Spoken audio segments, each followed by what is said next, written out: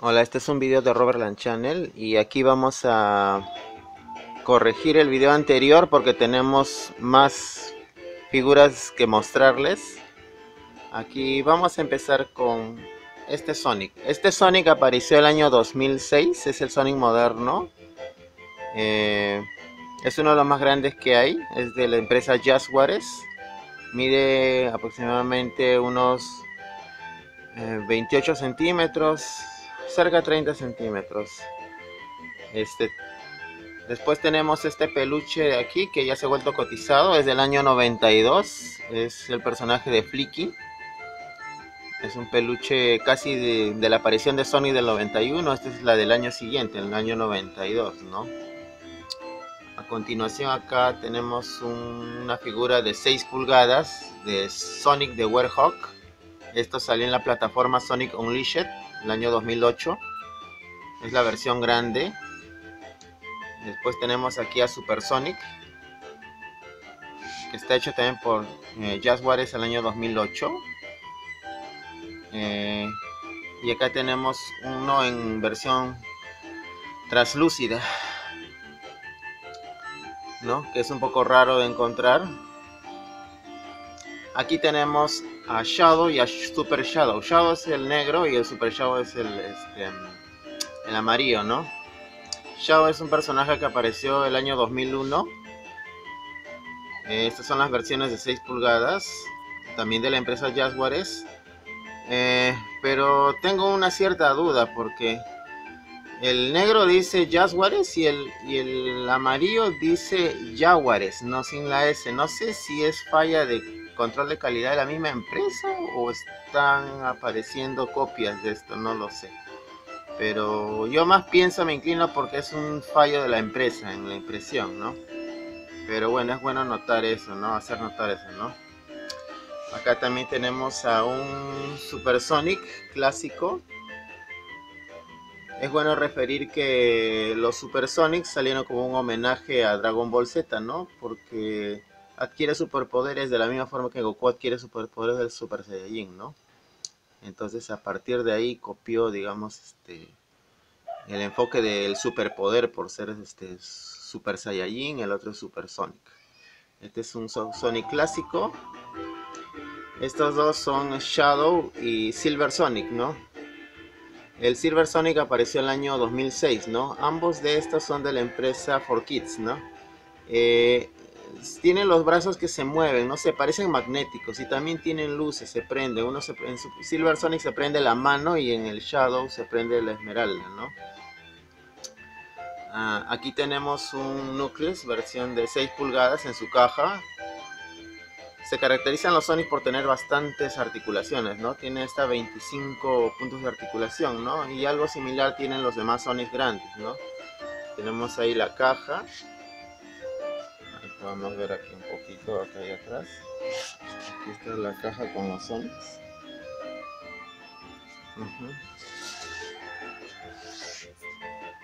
Después acá tenemos el Sonic del 20 aniversario. Es una cajita de lata donde me vino algunas figuras.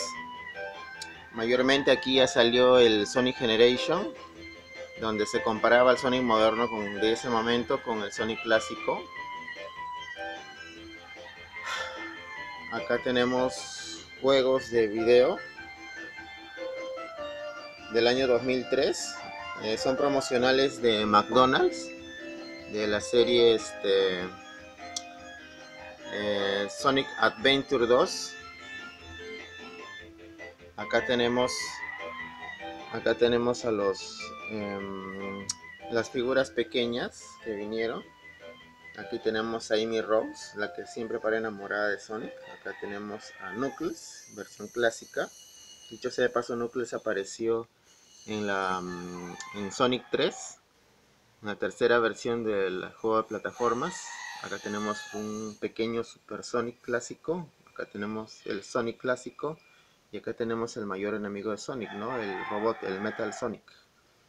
Y aquí tenemos a su fiel compañero, ¿no? El Knuckles o Colitas, ¿no? Dicho sea de paso, Colitas apareció en la versión del Sonic 2, ¿no? Aproximadamente el año 92, ¿no? Acá tenemos más versiones del Sega, del Sonic clásico. Esta también es una preciosa versión de eh, colitas de Knuckles. Acá tenemos las esmeraldas del caos. Son las 7 esmeraldas del caos. Acá se me acaba de caer este, este, esta figurita. Vamos a colocarlo bien. Es esta princesa es Blaze the Cats. Es una de las figuras más queridas por los fans de Sonic. También es en versión 3 pulgadas. También por Sega. Acá tenemos una estatua de, de Sonic Generation. Donde están los dos Sonic, el clásico y el moderno, ¿no? Compitiendo, ¿no?